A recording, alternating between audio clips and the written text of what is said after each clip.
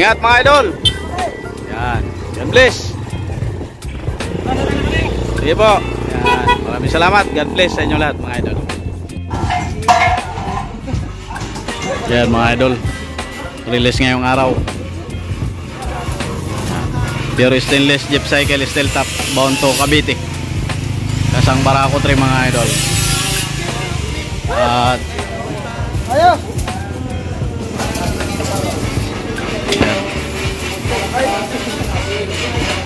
Ito nga pala mga idol si Amos, namimiss nyo pala.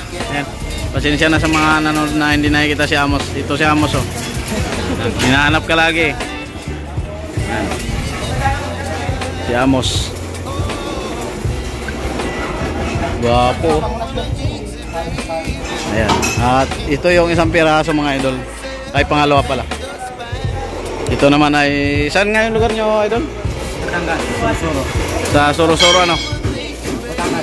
Ayan. Shoutout mo yung mga idol doon. Shoutout na pala. mga mga ano doon, mga ka-sidecar, mga idol. Mga kasadyar, shoutout.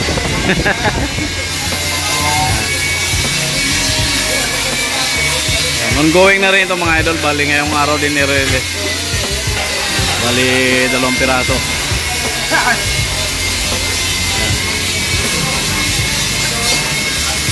Kasang barako din siya mga idol. Talagang panalo-panalo yung Kawasaki ah, biyang mabenta. At siyempre kasama natin yung mga idol natin. Ayan o. So ikaw yung mga idol. mga taga Cavite at Batangas nagkita-kita yan mga nagpagawa sa atin mga idol ng unit busy busy yan pawis na pawis si tatay oh. Init. Pagkuskus lang. so ayan ito yung dalawa mga idol na nag-install ng salamin. Ayan. Ito si ano to si Blokotok. Pangalan nito mga idol. Sa mga hindi pa nakakakilala nito si Blokotok ito.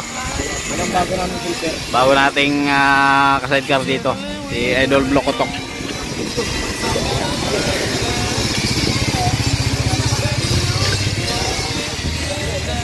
busy busy mga idol sa ating dalawang unit na ilalabas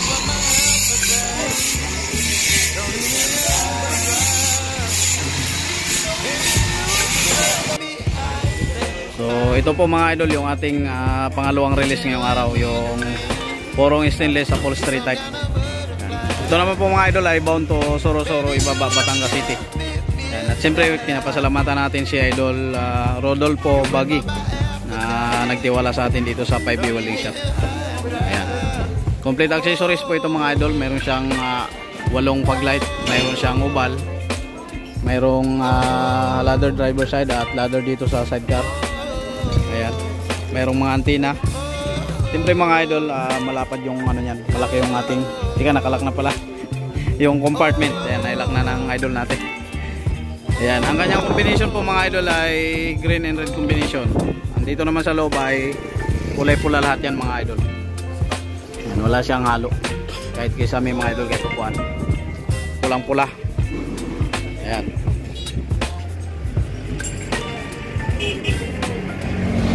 Release natin ngayong araw. Pangalawang unit. Ayan. Ayan. Siyempre pinapasalamatan natin yung lahat ng mga nakaline up at nagtiwala sa atin sa ating ating shop, baby welding shop mga idol. Ayan, sa mga gusto magpagawa ng ganitong unit, ang halaga niyan mga idol ay 115,000. Ayan, bali pauwi na rin po sila mga idol sa Batangas. Ayan. Harapan din yung kanyang upuan dito mga idol. Ayan. Kasang barako po ito.